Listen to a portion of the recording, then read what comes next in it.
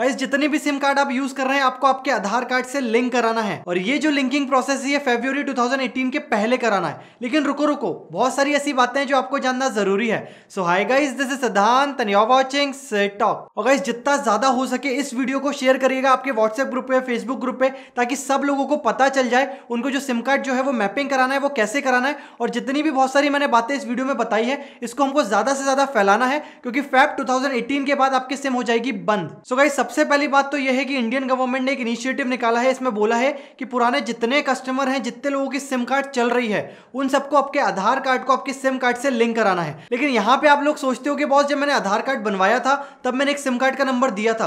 तो वो क्या चीज़ है? और अब जो मैं सिम कार्ड में आधार कार्ड जुड़वा रहा हूँ, वो क्या चीज़ है? सो गाइस बिल्कुल सिंपल तरीके से मैं आपको समझाता हूँ। जब आपने आधार कार्ड बनवाया होगा, तब इसके अंदर आपने एक सिम कार्ड को जुड़वाया होगा, जिसकी वजह से आपके जो ओटीपी होते हैं, आधार कार्ड के ट्रांजेक्शन होते हैं, उन सबकी डिटेल आपको उस पर्टिकुलर नंबर पे आती है। सो so, घुमा फिरा के उस आधार कार्ड के अंदर आपने एक सिम कार्ड का नंबर दिया हुआ है। और अब जो इनिशिएटिव गवर्नमेंट ने निकाला है वो ये है कि आपने जितनी भी आपकी सिम कार्ड चल रही है आपको सिम कार्ड के अंदर आपका आधार कार्ड लिंक करना है। सो गाइज़ अब हो सकता है आप मल्टीपल सिम यूज़ करते होंगे तो आपकी जितनी सिम कार्ड आप यूज़ कर रहे हैं सबके अंदर आपको आपका आधार कार्ड जो है वो जुड़वाना है। सो गाइज़ बिल्कुल सिंपल प्रोसेस में आपको समझाता हूँ। आपको आपका फ़ोन लेके जाना है आपके आसपास के रिटेलर के पास जिस भी कंपनी का आपका फ़ोन है। मान लीजिए वो एयरटेल का हो आइडिया का हो बीएसएनएल का हो तो इनके पास आपकी सिम कार्ड लेके जाना है और आपका आधार कार्ड भी लेके जाना है। ये लोग क्या करेंगे? पहले तो आपका जो सिम कार्ड आप दोगे उनको, उसका मोबाइल नंबर एंटर करेंगे उनके सिस्टम में तो उसी पर्टिकुलर नंबर पे ओटीपी आएगा। ऐसा नहीं है कि जो आधार कार्ड में मोबाइल नंबर जुड़ा हुआ है, उस पर ओटीपी आएगा। जो भी सिम कार्ड आप लेके जा रहे हैं, जिसमें भी आपको आधार कार्ड एंटर करवाना है, जुड़वाना है, उसी के ऊपर वो ओटीपी आएगा। ओटीपी डालने के बाद वो मांगेगा आपके आधार कार्ड नंबर। आप उनको आधार का नंबर दे देंगे, उसके बाद आपकी फिंगरप्रिंट वो मांगेगा तो उस आधार से वो बायोमेट्रिक फिंगरप्रिंट जो है, वो मैच कर जाएगा, और वो पर्टिकुलर नंबर पे आपका आधार कार्ड जो है वो जुड़ जाएगा। तो ये सारी प्रोसेस आपको करना है फेब्रवरी 2018 के पहले। और मान लीजिए जियो की आपने सिम ली है तो जब आपने जियो की सिम ली होगी, तब आपने एक बायोमेट्रिक स्कैन करके दिया होगा उनको। लेकिन अगर बहुत पहले आपने जियो की सिम ली होगी, जब आपको फिंगरप्रिंट नहीं मांगा होगा जियो ने, उसने एक आधार कार्ड की जगह और कुछ मांगा होगा डॉक्यूमेंट्स या आपने आधार कार्ड की कॉपी दी होगी आपके किसी भी ऑपरेटर को तो जहाँ भी जो भी आपने सिम ली होगी, अगर आपने डॉक्यूमेंट सबमिट करे होंगे, कभी भी आपने फिंगरप्रिंट नहीं दिया होगा तो आपको वो प्रोसेस वापस से करना है। ऐसा नहीं है कि आपने एयरटेल की सिम ली और उसमें आपने आधार कार्ड ही दिया था। तब भी आपको करना पड़ेगा क्योंकि आपने तब बायोमेट्रिक स्कैन नहीं कराया था। अभी सब कुछ डिजिटल फॉर्म से आपको वापस से वेरिफिकेशन कराना है आपकी सिम कार्ड का।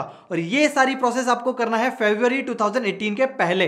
अब आप बोलोगे, यार, इतनी प्रोसेस क्यों करवा रही है गवर्नमेंट तो देखो गवर्नमेंट एक आइडेंटिटी चाह रही है आधार नंबर तो बस वो आधार नंबर डाले, आपके सारे बैंक अकाउंट आपकी सारी सिम कार्ड आपकी सारी चीज़ें जो जो आपने करी हुई है दुनिया में, सारी चीज़ वो एक बस आधार कार्ड नंबर डालने से आ जाए। आपकी इवन लोकेशन भी वो पता लगा पाएँगे से वो आधार कार्ड से, क्योंकि उस आधार कार्ड को आप सिम से जो है वो मैप कराएँगे और सिम कार्ड से आपकी बिल्कुल रियल टाइम लोकेशन देख सकेंगे। तो घुमा फिरा के आपको अच्छे से ट्रैक कर पाएँगे जितने फर्जी लोग हैं, जो फर्जी सिम इशू करा के फालतू चीज़ें करते हैं फेक बिजनेसेस चलाते हैं तो वो सब इसके दायरे से बाहर हो जाएँगे। क्योंकि अगर वो ऐसा करते हैं तो गवर्नमेंट एक झटके में एक आधार कार्ड नंबर से वो पता लगा पाएगी कि ये जो फ़ोन है, ये किसके पास है, ये क्या कर रहा है, अभी कहाँ है। तो एक बस एक यूनिक वेरिफिकेशन कोड बोल सकते हो, या यूनिक इंडेक्स बनाना चाहिए कि बस वो आधार कार्ड नंबर डाले और आपकी सारी डिटेल पूरे हिंदुस्तान में किसी की भी एक आधार कार्ड नंबर डालने से उसकी सारी चीज़ें उसने क्या क्या रिटर्न भरी है क्या क्या उसने मोबाइल फोन्स लिए हैं क्या क्या उसने सारी चीज़ें करी हैं सब कुछ एक आधार कार्ड नंबर से मैप हो सके इसलिए ये इनिशिएटिव चल रहा है। तो जल्दी से जल्दी चाहिए आपके सिम कार्ड को आपके आधार कार्ड से मैप करा लीजिए।